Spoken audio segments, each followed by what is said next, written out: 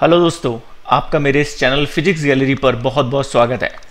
मैं यहाँ पर आई डी जेई मेन और आई ट्रिपल में पूछे गए प्रीवियस ईयर क्वेश्चंस की सीरीज़ लेकर आ रहा हूँ। अगर आप मेरे इस चैनल पर फ़र्स्ट टाइम विज़िट कर रहे हैं और आपने चैनल सब्सक्राइब नहीं किया है तो सब्सक्राइब कर लीजिए, बेल आइकन प्रेस कर दीजिए ताकि आने वाले हर क्वेश्चन की इंस्टेंट नोटिफिकेशन आपको मिल जाए। और अब हम पहुँच चुके हैं क्वेश्चन नंबर 41 पर।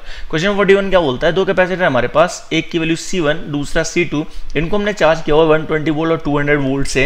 It is found that connecting them together आपस में कनेक्ट कर दिया था। Potential on each one can be made zero potential zero हो जा रहा है। फाइनली मतलब कुछ इस तरह से सीन होगा। ये C1 है और दूसरा कैपेसिटर सी ठीक है, इन दोनों का हमने potential finally common potential zero लेना है और इनिशियली हमने इसको 120 वोल्ट और एंड इसको 200 वोल्ट से चार्ज किया हुआ था।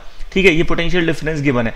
अब सीधी सी बात है, क्योंकि हमें कॉमन पोटेंशियल ज़ीरो करना है तो हम इसे अपोजिट पोलैरिटी के साथ कनेक्ट कर रहे होंगे। मतलब यहाँ पे प्लस कर रहे होंगे, यहाँ पे माइनस कर रहे होंगे। कॉमन पोटेंशियल का फॉर्मूला क्या होता है, दोस्त? इफ़ यू रिमेंबर ये होता है C one V one plus C two V two divide by C one plus C two और हम इसे क्या कर रहे हैं? ज़ीरो कर रहे हैं। अच्छा एक और बात बता दूँ, जो मैंने यहाँ पे अपोजिट पोलैरिटी वाली बात कही थी, वो इसलिए कही थी, ताकि आपको समझ में आ जाए कि यहाँ पे प्लस की जगह माइनस यूज़ होगा। तो यहाँ जब मैं वैल्यू लगाऊँगा, ये कुछ इस तरह से अपियर होगा। C into one twenty C one जो है वो वन ट्वेंटी वोल्टेज से चार्ज है दोस्त। और यहाँ आएगा minus C two into two hundred divided by C one plus C two तो इस तरह से आप इसे सिंप्लीफाई करोगे and you will get one twenty C one is equal to two hundred C two तो आप इसे फर्दर कैंसिल आउट करके ये थ्री टाइम ये फाइव टाइम कैंसिल हो रहा है एंड चेक करो करेक्ट ऑप्शन कौन सा बन रहा है।